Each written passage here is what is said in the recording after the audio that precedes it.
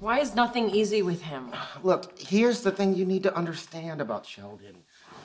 He's the worst. I prefer to think of it as high maintenance. I prefer to think of myself as 5'10, but I still need to get all my pants hemmed. Guess I should have known what I was getting myself into. Don't beat yourself up. You've never lived with anyone before. That's true.